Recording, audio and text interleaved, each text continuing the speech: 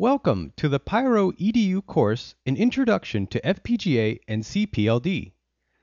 In this course, we will cover many topics related to FPGAs and CPLDs while also building up experimental circuits for each topic to help you learn by doing, which I find is usually the best way to learn.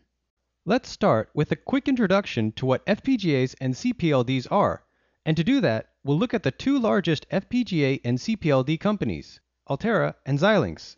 Both of these companies build CPLDs, which are small programmable logic devices that have onboard memory.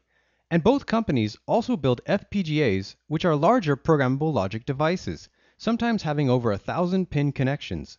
Inside of a CPLD, the pins connect to input-output elements that define whether the pin is an input or an output, as well as what type of logic level should be used, like plus 5 volt, plus 3.3 volt, or plus 2.5 volt logic or LVDS pairs.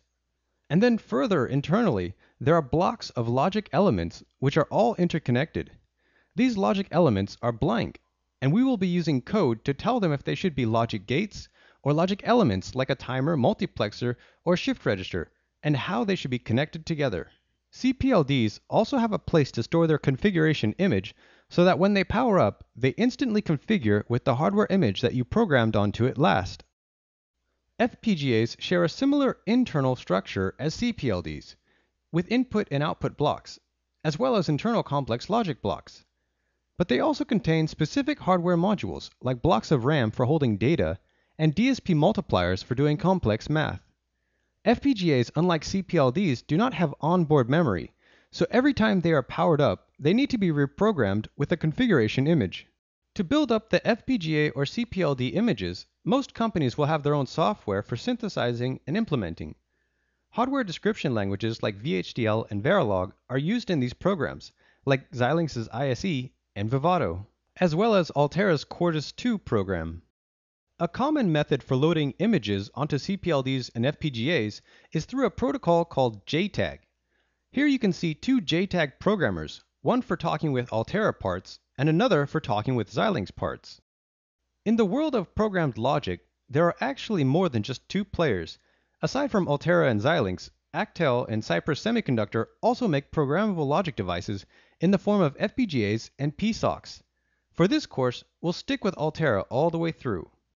FPGAs and CPLDs are traditionally more expensive than off-the-shelf processor or microcontroller solutions, and so the high horsepower FPGAs are most commonly found in telecommunications equipment at Juniper or Cisco. But with costs coming down in the last 10 years, FPGAs and CPLDs found their way into other markets like test instruments at Rohde & Schwarz and Agilent Technologies. And in the last few years, FPGAs have found their way even into niche areas like mining bitcoins and in high frequency trading. The low latency, high speed, application specific, and all hardware nature of FPGAs and CPLDs give them an extreme performance edge over a generic processor. In the last three sections of this introduction, we'll explain what content will be presented in this course, the parts list necessary to follow along with and perform the experiments in each lesson, and lastly, we'll cover what expectations you should have of this course as a student.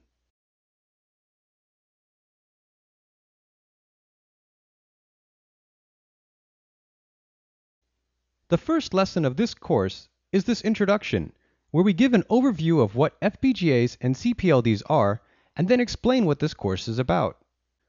After that, we dive right in by getting everything set up for programming a CPLD in the Hardware Hello World lesson, followed by understanding how to set up input and output ports, and then moving to implementing combinatorial logic.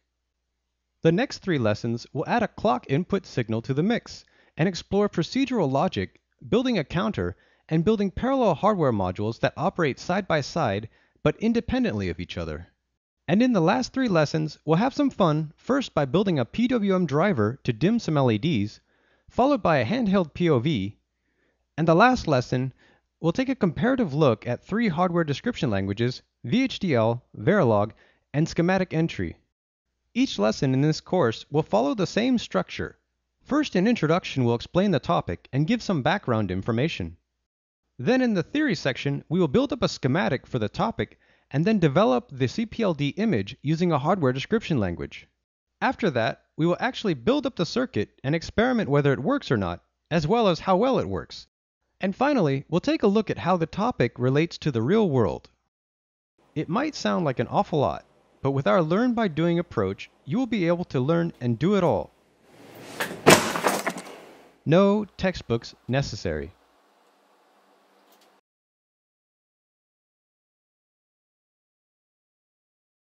In this course, we'll be using a variety of parts during the experiments, so let's go through them all now so that there's no question about what we'll be using and what you need to follow along. The core parts that we'll use in every experiment are a standard breadboard, a jumper wire kit, and an Introduction to FPGA and CPLD Components kit. In addition, we'll also be using this ThinkPad laptop for building our CPLD images, and we'll need a 9 volt battery for powering our circuits.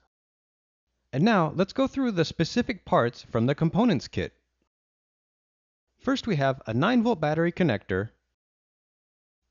USB cable, CPLD JTAG programmer, an EPM 3032A CPLD breakout board with JTAG header, a common cathode 7-segment LED display, CD4511 7-segment LED driver, ICM 7555 timer module, three tactile push buttons, LM317 variable voltage regulator, four different types of resistors, 10 100 ohm, 10 10 kilo ohm, 5 390 ohm, and 5 240 ohm resistors, 8 5 millimeter red LEDs, 3 10 microfarad electrolytic capacitors, and 2 0.1 microfarad ceramic capacitors. Many of these parts can be found at your local electronics store, but some of them are more specialized, so they will be harder to find. This specific components kit can be found for sale at Gadgetory.com, an online electronics shop. The three main outcomes that we hope this course provides for every student are first, that everyone is able to implement a CPLD project from beginning to end, Second, that each student understands the connection between how VHDL code uses hardware inputs to drive hardware outputs. And third, that every student understands how we are not programmers, but that we are hardware designers implementing hardware using code, which is very different from Java, C++, or .NET programming. All parts in this online course were provided by the Gadgetory. Visit them at gadgetory.com slash pyroedu. Now that you've been introduced to FPGA and CPLD, it's time to take your first step with using a CPLD in what I like to call the hardware hello world. So when you're ready, continue on to lesson 2.